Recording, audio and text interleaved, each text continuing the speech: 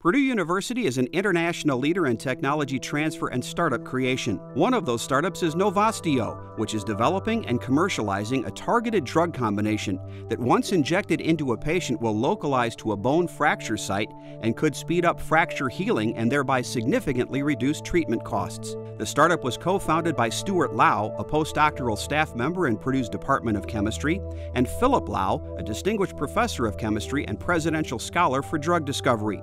Most people break about two bones in their lifetime. And if you're of working age, this can be a really big problem. It means lost work, it means high hospital bills. Hip fractures can be a particular problem. If you're over the age of 65 and you break your hip, there is about a 1 in 4 chance that you will pass away within a year due to complications. For most of the 6.3 million bone fractures that occur in the United States every year, Conventional treatment means external fix fixation, such as a cast, or surgery, where a surgeon will implant a plate or a rod inside the bone. This process can be painful, it's long and drawn out, and there really isn't a great pharmaceutical option for to enhance this healing. Novosteo is developing fracture targeted bone anabolic agents that can selectively accumulate in bone fractures to accelerate the healing process. The drug can be administered through an injection. The body produces a number of different stimulants that induce rapid bone fracture repair. We call these bone anabolic agents.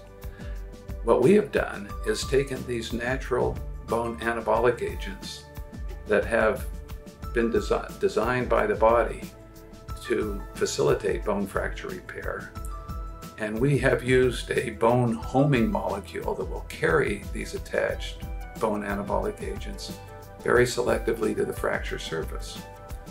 By concentrating these bone building drugs specifically at the fracture site, we can avoid the collateral toxicity that would occur when these same agents would distribute everywhere else in the body and just focus this bone building activity at the uh, fracture surface.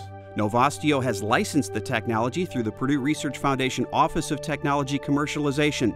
The company plans to initially focus its product on hip fractures in the elderly before moving into a wider array of applications.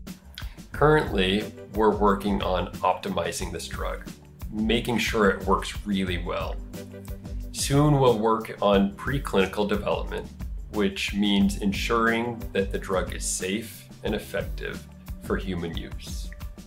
We hope to soon raise money, raise capital in order to accelerate the process and move into clinical trials where we can prepare this drug for use for the general public. To find more information about this and other Purdue technologies, visit prf.org/otc.